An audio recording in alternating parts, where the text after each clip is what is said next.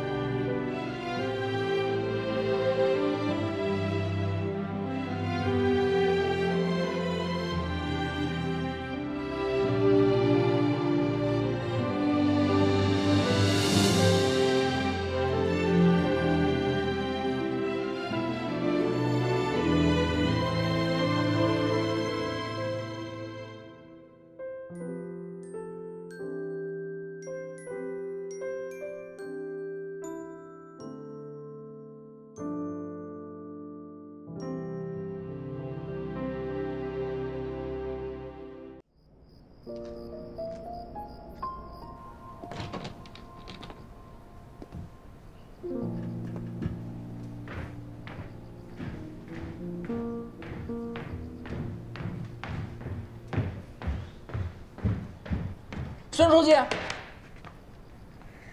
你怎么进来的？谷仓门没关，我就进来了。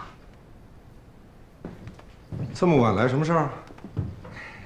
我你什么你啊？后边一路跟过来的吧？啊？其实你早就在李建安家门口了，对吧？本来想看着李建安中招，结果没想到受伤的是我。孙书记，你太厉害了，这推比全推出来了。站起来！谁让你做的？孙书记，我来就是真诚的跟您赔礼道歉的，对不起。不过您得相信我，我发誓，我绝不是针对您，我就是想教训一下李建安。谁寻思您今天晚上去他那儿了，而且时机还撞得那么巧，你时机是够巧的，我来村里这么长时间了，这是李建安第一次请我去他家，说喝口酒聊聊事儿。孙书记，是这样啊，那个，你上回说那个民宿的事儿啊，我突然有点小想法，想跟你聊聊。没想到就是为了让我去他家门口，感受一下你精心设计的这个、这个、这个天女散花。李建安也行，早就发现了，还专门让我去，让我感受一下你这人品。我人品怎么了？瞎包怎么了？我现在总算明白了，你口口声声说别人瞎包，我看最瞎包的就是你，采用的方式之恶劣，人品之低下。哎呦，这这，不过正好孙书记，您可以换个角度想啊。你看李建安，他为了贬低我，不惜故意借刀杀人。我的天哪，孙书记，您现在能体会到李建安这个人品之黑了吧？刀总是你的吧？刀总是你你你的吧？你看看，你看看，洗了三遍了，现在还黏黏糊糊的，都能包饺子了，快！你去。挺柔顺的呀。哎呀，而且特别香。这洗发水什么牌子？我也买一瓶。赵玉喜，你有没有点正形啊？我错了。赵玉喜，我告诉你，你别嬉皮笑脸的。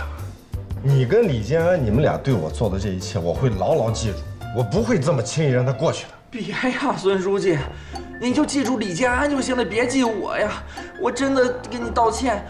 要要是你还不解恨，我再弄点面粉来，你泼我脸上，我绝不反抗。真的，我真心实意给你道歉，我下跪都行。我对不起，对不起，孙书记，我真给你跪了，我我单膝跪地。你少来这套，你去去去坐坐那儿。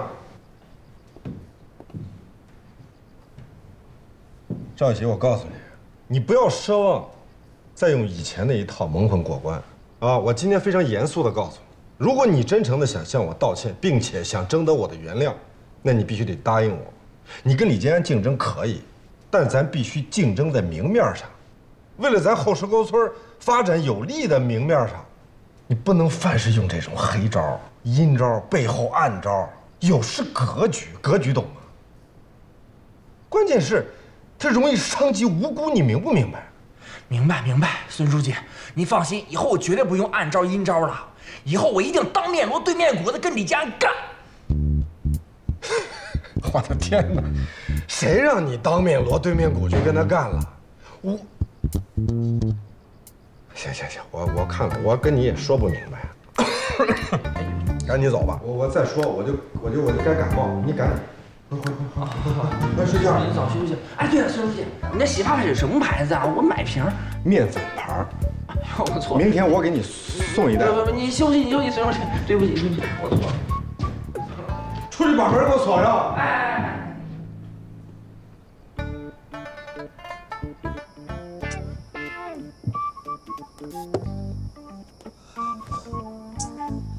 我给打电话之前，我真应该多想想。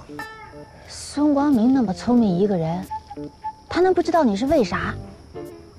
他这事儿吧，比赵玉喜更恶心，你知道吗？就是，他走的时候连头都没回啊，真的生气了呀。谢安，你平常就愿耍那小聪明，你这么做不对，知道吧？哎呀，哥哥，你你这时候你就别说我了啊。那怎么办？那我我我我我去找他。哎呀呀，你呀，现在先憋肚子里，看看再说。解释啥呀？越描越黑，你知道吧？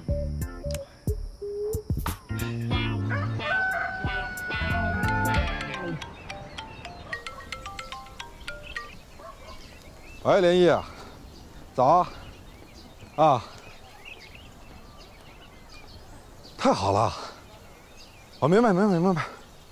你放心，我一定尽快亲自到人家公司去跟人谈这事儿。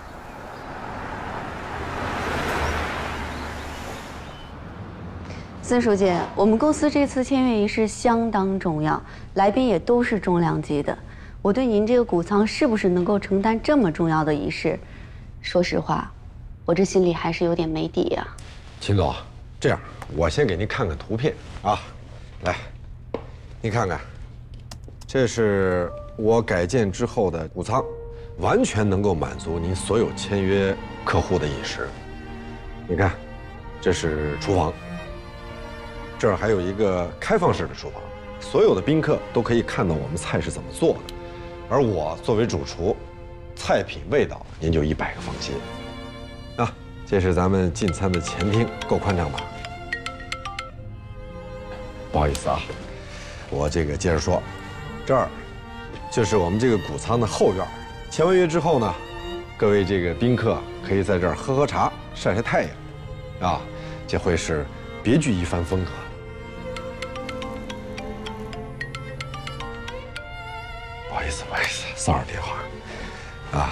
后这我们谷仓啊，还有客房，可以提供午休。当然，如果说不需要休息，有精力啊，这些客户呢，可以到我们周边，我没拍那么全啊，有水库，有山林，大家去走走转转。晚餐咱们就在这个谷仓吃啊，然后可以搭配清爽一点的农家菜。实在不好意思，我先接一下，您先看一下。喂，哪位？我是及时雨现金贷。啊，对不起，你打错了，我不需要。是孙光明，这没错吧？你稍等一下，不好意思，秦总，我门口接个电话。你是怎么知道我电话的？我不需要贷款。你可以不需要贷款，但是你需要还款。还什么款？你是不是搞错了？你担保的贷款人，我们现在联系不上他了，我们只能来找你还这个款。担保啊？我从来没给任何人担保过。你说我担保的这人是谁啊？贷款人叫徐唯一，当初跟我们借款的时候，他说让你做他的担保人，还跟我们说如果他还不上，就让我们找你要。现在这个人我们电话打不通，消失了。按照我们之前的约定，我们只能来找你还这个款。孙书记，秦总一会儿还有要事。稍等啊。呃，那行，那这样吧，你你你先给我发个地址。我一会儿过来当面跟你核实一下。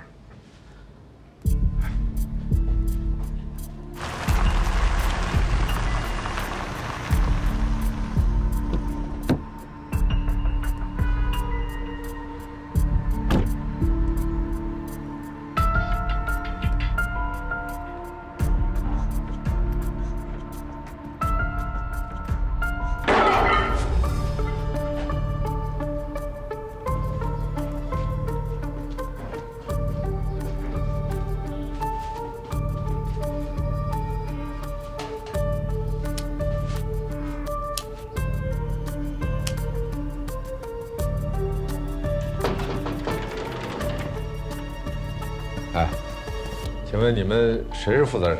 你叫谁啊？哦，我叫孙光明，是你们刚才这儿给我打电话，说我给徐唯一做了担保，让我过来。哎，来来来，咱们外面说，来，快给倒冷水，来，你都闪开，哎，来来来，您坐您坐，哎，没事没事，来坐。哎呀，哎，你是怎么知道我这些个人信息的？徐唯一告诉我们的呀。您看一下这个，贷款人徐唯一，贷款金额一万二，到期还款金额一万六。这后面呢是他的身份证复印件。您看这个是您认识的那个徐唯一吧？是，我是认识的。认识就好啊。明天十二点就是他的还款期限。现在我人找不到，电话打打不通，我找您来过来帮他还钱，这事儿没毛病吧？不是他借的钱，凭什么我我让我来还呢？凭担保人这一栏上填的是您的名字呀。哎，我说，你是他的男朋友，女朋友借钱不还，男朋友帮忙去把这个钱还了，这个事儿其实你等等等，你先等会儿，我我我我有两件事先必须跟你说明啊。第一，我不是她男朋友，她也不是我女朋友。其次，我没同意过给他当这个什么什么担保人，而且我严重怀疑你们这种放款催款的方式并不合法。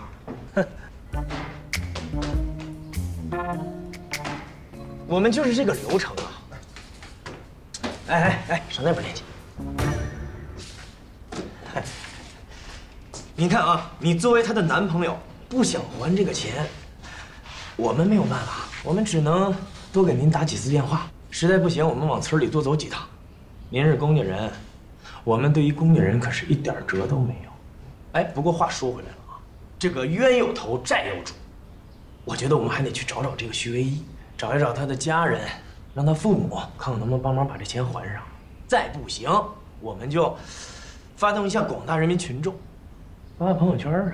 别别别别别，这个这事儿虽然我不知道啊，但是我认为你们还是先先别激动，你给我点时间，我先去找找他，行吗？可以啊。拨的用户忙，请稍后再拨。The subscriber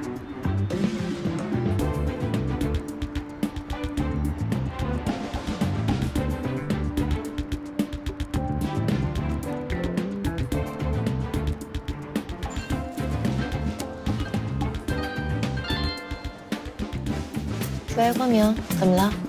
有个事儿想麻烦你一下，你最近跟徐唯一联系过吗？我有联系。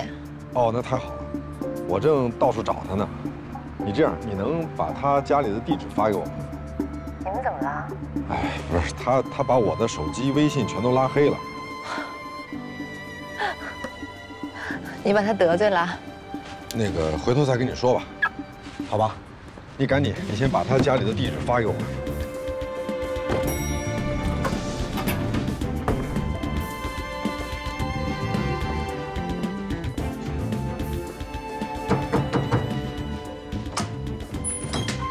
你找谁呀、哎，你好，你好，那我想请问一下，徐唯一是住在这儿吗已经不住这儿了，啊？为什么呀？欠了两个月的房租，昨天晚上就给赶走了。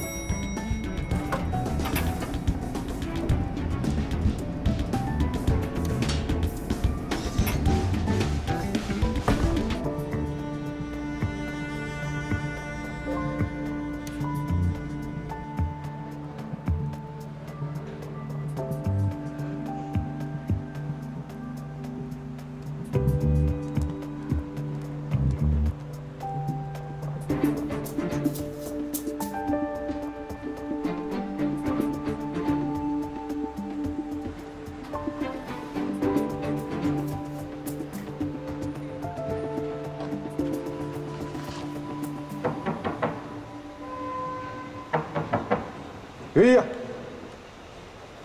徐唯一，开门。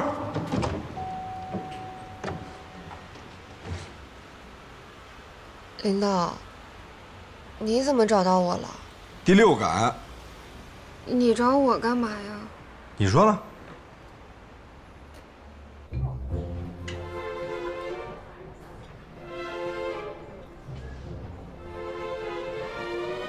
徐威，你胆子也太大了吧！这种不正规的民间贷款，他们的钱你也敢借？应急，我也没有别的办法。那你应急，你把担保人填我干什么呀？还把我的身份证号码、手机号码、家庭住址全部都泄露给对方，你这是严重侵犯我的个人隐私，你知道吗？我不一五一十的把担保人信息给写完，人家怎么会把钱给我嘛？那你凭什么把我填成担保人呢？因为是后石沟村赖我账啊，是因为他们不给我三万块钱代言费，所以导致我还不起月供。那迫于无奈，我只能去找借贷公司借钱啊。你是后石沟村的第一书记，是赖账村的最高负责人，我不给你选钱呀，这不是很正常吗？能不能小点声？不能。哼，说来就生气，还说。反正现在借贷公司找我了，你说接下来怎么办吧？什么怎么办？你不要接电话不就好了？要是找到村里，你让赵林或者赵一水上去打他们，分分钟秒杀，知道吗？记住啊！这这都什么逻辑？啊？我是说你，你以后怎么办？什么怎么办？吃完了回去睡一觉，睡完了以后在太阳照常升起，怕什么？你有地方睡，你还跑到车里边去睡？我告诉你，我找到你之前已经去你住那房子找过你了，房东跟我说了，你不交房租，交不起房租，把你给轰出来了。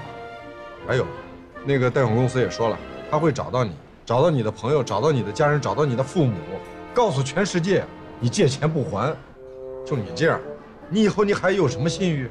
你以后还找工作吗？谁还敢用你？人家已经很崩溃了，你为什么还要打击我？都是因为你和这个赖账村害了我，毁了我的人生。你还说我？你凭什么说我？为什么要打击我？哎哎哎你你你你先别哭，别哭行吗？我就哭，我我很需要哭。我已经愁了一天了，我从昨天下午开始我就没有吃饭，我就要哭，不要让我哭。别哭了，别哭了，行吗？别哭了。要不这样吧，一会儿我先去取点钱，先把你借的这个高利贷给你还了，后边的事咱们再说。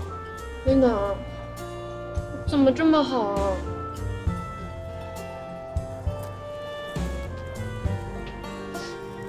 干什么呀？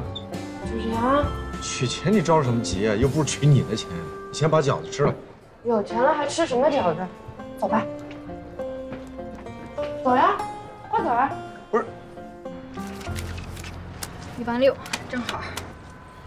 借款合同。哎，着急，来，已经结清了。哎，像你们这样讲诚信的优质客户，以后但凡有需要，直接找我啊，我当天放款。咱们合作愉快。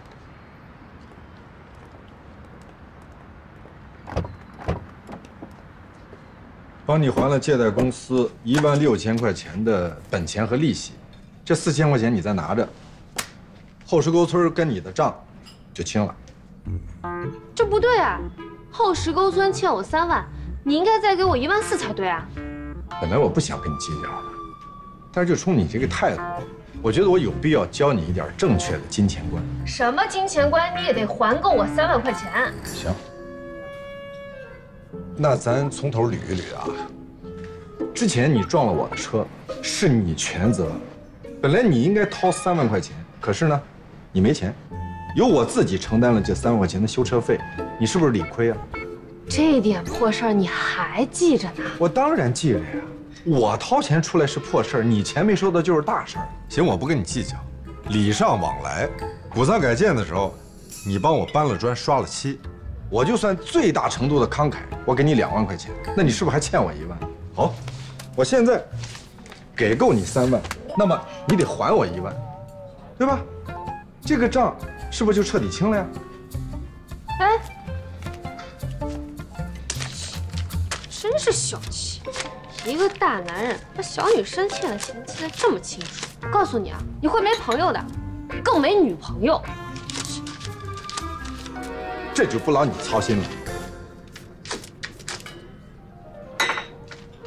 所有的账结清了，说说你吧，下一步打算怎么办？什么怎么办啊？你接下来的生活怎么继续啊？就拿着这四千块钱，包括那个按揭来的小豪车，天天吃住还都在车里边解决，然后等下个月还车贷还不起的时候，再去借贷公司借钱。我也愁着呢。徐唯一，不是我说你，你就是懒，你们的生活态度有问题。你现在的当务之急，不应该是立志当个什么网红，你要去找一份正经工作。你大学不错，又是学传播的，我不相信，你就不能正正经经的去应聘一份好工作。我在上大学的时候呢，这个英语挂科了，所以我最后拿到的是肄业证书。就算我去正规公司应聘，我也录取不上的。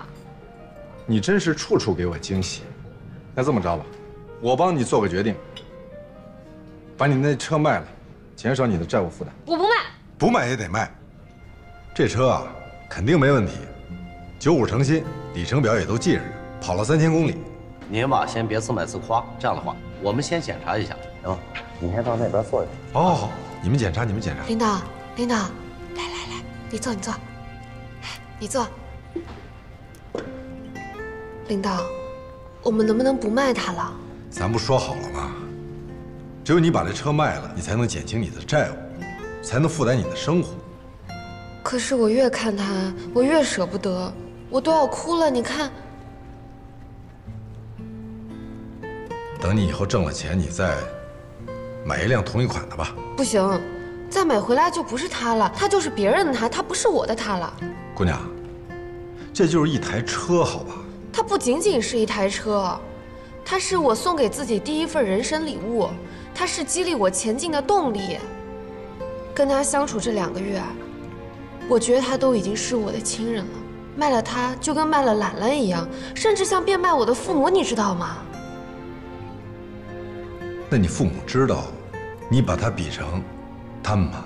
不知道，他们现在在外地呢。哎呀，亲情嘛，骨子里都是相通的，你能理解的，对不对？哎，小姐，你好。哎，那车我看了，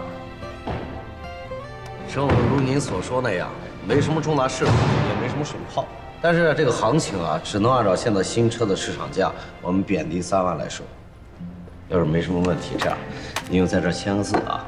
一会儿你们剩下的按揭啊，咱们到屋里谈。好，三万还可以啊，还可以。我不卖了。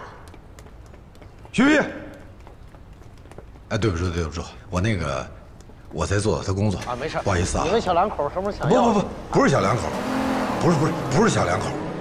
徐玉，你我听说这光明书记弄那个谷仓大谷仓，不是为了自个儿，说是要弄那个叫什么民宿。啥叫民宿啊？这都不知道，就是农家乐的升级版呢，把城里的人请过来，管吃管住，这是他在开会的时候提出来的。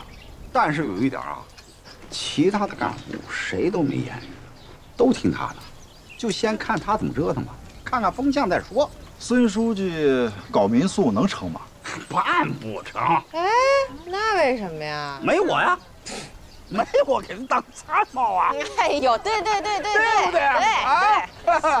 哎呀，哟，孙书记回来了啊！哟，不对啊！哟哟哟，徐老师，这不那那吗？好。哎，这徐老师又回来了，什么情况？行李都是满的。对呀。啊，这是要住下来了吧？这是要长期住下来的节奏。啊。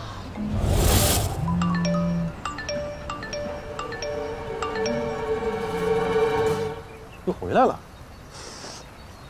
不是这这孙光明跟这徐唯一到底什么关系啊？哎你可是得罪孙光明的啊！上次那面粉的事儿，他可是记仇啊。要不，徐唯一代言咱村形象的那个钱呢？你给他结了吧。对啊。啊。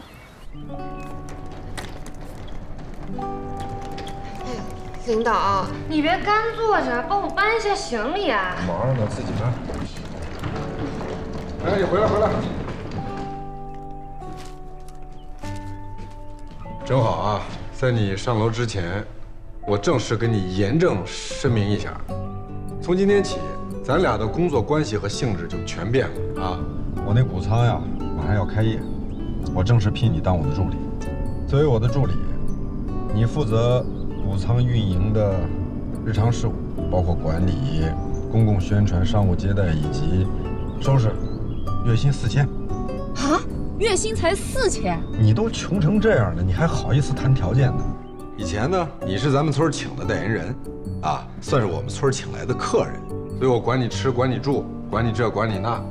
但从今天开始就不一样了，你是这个谷仓民宿雇佣来的员工，所以说以后啊，不管小事大事，你得主动做，并且还得做好，记住了吧？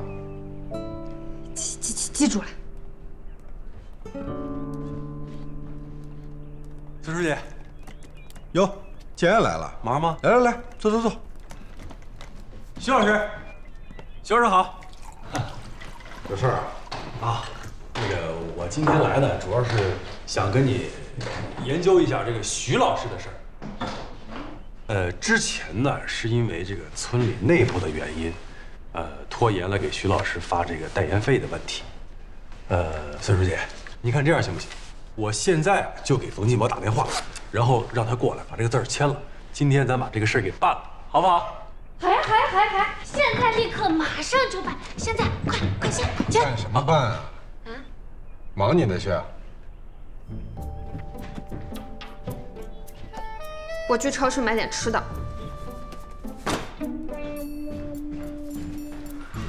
姐啊，你来的正好，我也正想找你说一声。我这趟去西海市啊，找到徐唯一，并且把他之前这个三万块钱已经给他结清了。啊？你你你给他已经结清了？这次回来呢，就跟咱村里没什么关系了。从今往后呢，他算是这个谷仓民宿正式聘请的工作人员，以后他所有的费用也都由这个民宿的收益里边来给他支出。不，不是孙书记，那他徐老师之前做这个代言人的时候是跟村里有关系的，所以这个钱还得村里出。你这样吧，我现在就给冯金宝打电话，让他过来啊，咱把字签了，然后给徐老师发了钱，让徐老师把钱再还给你。你先听我说完。首先，这个钱肯定是应该咱们村里出啊。对。但是前些天呢，我听季宝也说了，说咱们村公账上也就那么几万块钱了，所以我想啊，我先垫上吧，就算是谷仓的租金吧，这个先缓一缓，也算把这钱呢趴在咱们村公账上能应个急。那，那那也也也也也行，行，那就这么定。然后钱的事咱们以后再说。啊。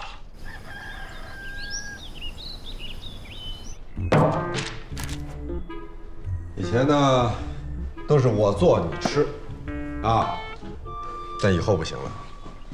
餐饮啊，是咱们谷仓民宿当中非常重要的一项，非常重要的特色。所以从现在开始，你就必须要开始学做饭了。领导，我发誓啊，我真的学不会做饭的，你饶了我吧，好不好？只要认真学，没有什么是学不会的。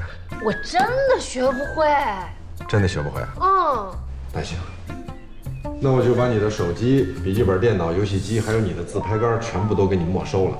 啊？等什么时候你想学了，我再什么时候还给你。好，好，好，我我学，我学淘米嘛，对吧？我会。哎呀，这简单的呢，你看，你看，你看。错。米是这么洗的吗？不是吗？米要一粒一粒的洗，要把这个沉睡的大米一粒一粒的逐渐唤醒、饱满、焕发生机。你没事吧？按我说的做。好，一粒一粒洗。小米宝宝，现在我在给你们按摩、洗澡，醒醒。你能不能严肃点啊？不论做任何事情，用心，用心是最重要的，懂吗？懂。拿左手固定住，否则怎么切呢？错，这切菜不是锯。错，你这是砍，切菜切菜切菜懂吗？错，薄一点。错，不是晃，是颠。错，不是两只手，是一只手。错，不是右手，是左手。使劲儿，使劲儿，使劲儿！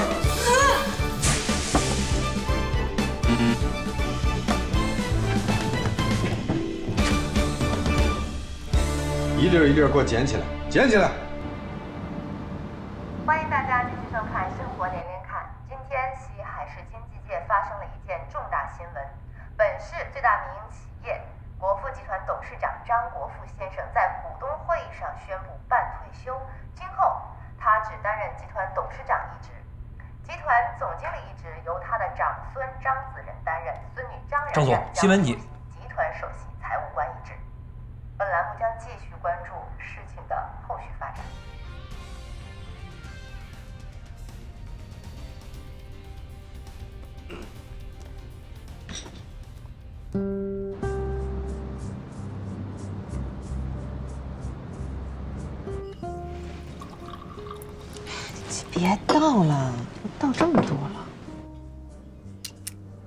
我太郁闷了，玉兰，我真太郁闷了。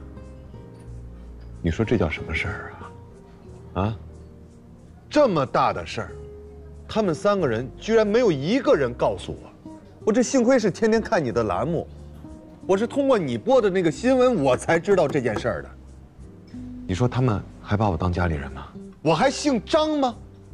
我还是不是国富集团的一份子啊？你不是有自己的投资公司可以发挥吗？那个投资公司算什么呀？那就是小菜儿一碟儿啊！张子浩，几个亿的投资金额，你告诉我是小菜一碟？抱歉啊，我真的不懂你们亿万富豪的苦闷。我觉得你找错倾诉对象。月兰，你听我说完。我给你打个比方，啊，国富集团，国富集团它就好比是后石沟村。我爷爷孙光明他就是我爷爷，我大哥就是李家，我二姐就是冯金宝，剩下这个，这就是我。你说我是个什么玩意儿？我算个神马东西？反正你不是一个普通村民，我肯定要比普通村民要高一点，对吧？那我是谁呢？我是，我是那个那个那个后石沟村里的徐唯一。你别看他成天跟着第一书记啊，同吃同喝，看上去挺风光，挺有面子，地位挺高，但实际上他就是村里的一个外人，核心事务根本插不上手啊，也不让他插手啊。你跟人徐唯一比什么呀？徐唯一跟我就是一样的。你看啊，我有一个投资公司，对吗？徐唯一呢有他的一个直播间，看上去都挺风光，挺新鲜，挺刺激的。其实呢就是插科打诨的，万一搞砸了，还能博大家一乐，开心果吗？对不对？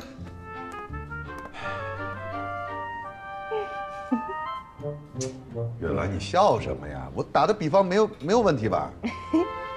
我只是发现你这个人挺逗的。你真的太不厚道了！我这找你倾诉，找你诉苦呢。对对对，但是我是觉得，如果你对你爷爷的安排不满，你完全可以找他聊一聊。我是得找他聊聊，而且我会很严肃的找他聊。好。我为什么说他是我爷爷呢？你今天的任务就是把我做菜的视频上传到微博，然后在微博上发布咱们谷仓民宿开业的消息。好，采购满足二十人需要的蔬菜、肉类、水果、饮料。记住，能在村里解决的就地解决，实在没有的再到城里的超市去买，再到村里的广播站、把咱们这个谷仓民宿开业的消息广播出去，欢迎村民前来参观。以上这些所有的事情都做完之后，再确认一下谷仓民宿明天开业仪式整个活动的流程安排，还有领导，光做这些我都会累成狗了。你一共就开我四千的工资，你压榨我一万二的劳动力，你这比黑心老板还黑。旧社会师傅带徒弟，头三年翻文不语，徒弟还得给师傅端茶倒水、洗脚捶背。我对你已经够好的了。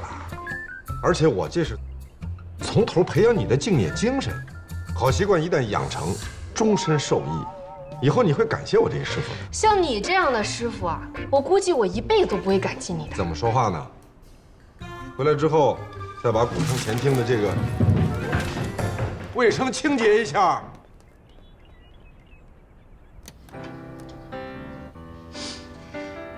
各位村民请注意。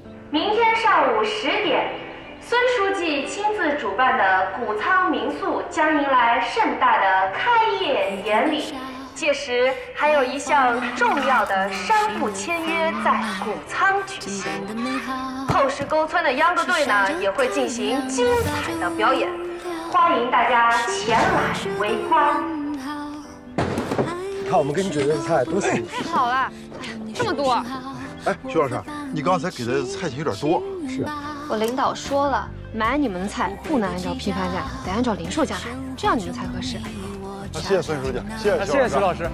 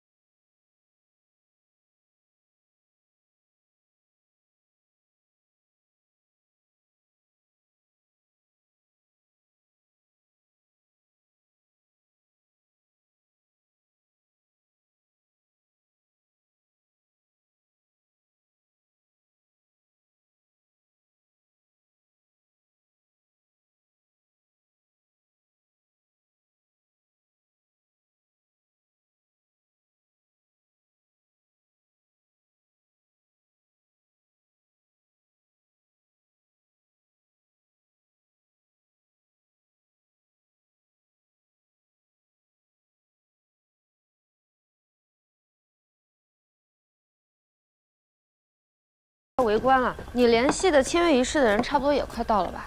啊，应该也差不多了。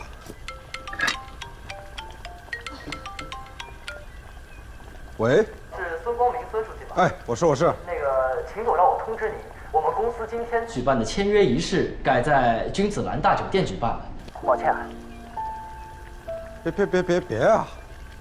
这个，咱咱们不是都已经签约了吗？我这儿啊。不光菜，所有的一切全都准备好了，就等你们来了。实在不好意思，周书记，在乡下谷仓举办签约仪式，毕竟影响力有限，呃，都怪我们之前考虑不周。秦总说了，您的一切损失我们来赔偿。不不，不，不是赔偿，不是钱的问题啊。你你你们看看，是不是还是得回到我这儿来办？啊，真的很抱歉，真的去不了了。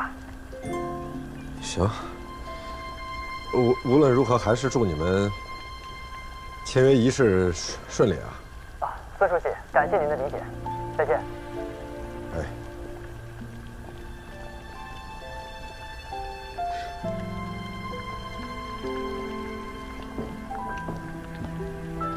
怎么了，领导？签约仪式，他们说换地点了，来不了了。我为这个签约仪式跑前跑后的我这个腿都快要跑没了怎么说不来就不来了？这也太坑了。那那现在怎么办呀？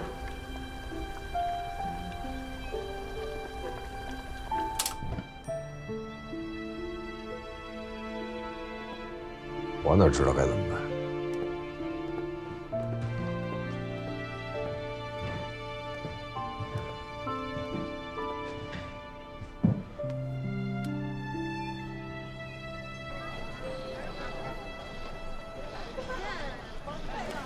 人还来不来呀？咱们秧歌扭不扭了呀？我昨天晚上连夜啊把衣服改了，你看我绣的花。哎呀，哎呀，难怪我瞅着你今天穿跟我们不一样哈，看呀，好别致啊！哎，桂花嫂，你别光让你自己好看，你给我们绣点，让我们漂亮漂亮呗。对呀，行，等过一段时间秧歌大赛的时候，我跟你们每个人都把衣服改了，都给你们绣上花。哎呀，太好了！我要这样。我说金宝啊，孙书记怎么也搞这些花里胡哨、不靠谱的事儿啊？这这这些人在耗着呢，到现在也不来，几点了？我觉得今天这个开业典礼和签约仪式八成黄了，黄呗，反正又不是咱凑成。你话不能这么说，你得想想你的身份啊！你现在可是老赵家的当家人，越是有难的时候，我觉得你越是应该跑上去帮助他。哎，是啊，这才是个好方法。咋人还不来？出事了吧？哎呀，啪啪啪打脸呐！一会儿看他这戏怎么往下唱。我要不跟外面的村民说一声，让他们散了吧？不行，我用这谷仓办民宿，就是想起个带头作用，带着村里人家把这个民宿给推广起来。现在这开业仪式办不了了，之前说好的签约仪式人也不来了，那我以后带领村里大伙干什么事儿还能有号召力啊？那现在怎么办嘛？